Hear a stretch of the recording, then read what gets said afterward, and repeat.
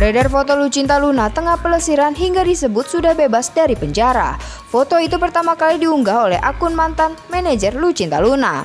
Foto tersebut menampakkan Lucinta Luna yang tengah berpose di mobil mewah.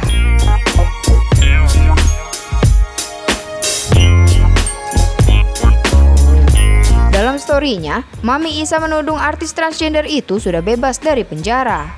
Di story lainnya, Mami Isa membagi foto Lucinta Luna yang berpose di mobil mewah atap terbuka. Unggahan Mami Isa kemudian dibagikan oleh akun gosip at mami underscore lamis.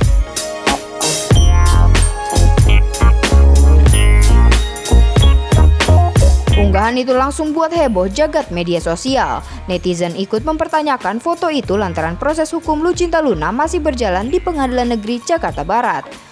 Maka dari itu, harusnya Lucinta Luna masih menjadi tahanan hakim di rutan Pondok Bambu.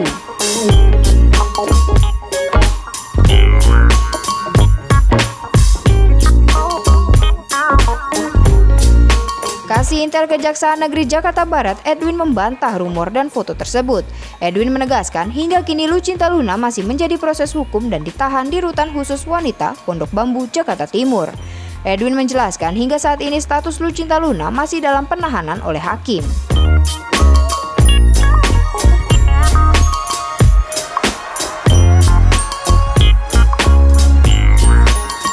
Diketahui, Lucinta Luna ditangkap bersama tiga orang temannya di salah satu apartemen di kawasan Jakarta Pusat selasa 11 Februari 2020 lalu.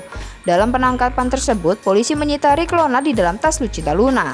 Selain itu, polisi juga temukan pil ekstasi di kantong sampah di dalam apartemen tersebut.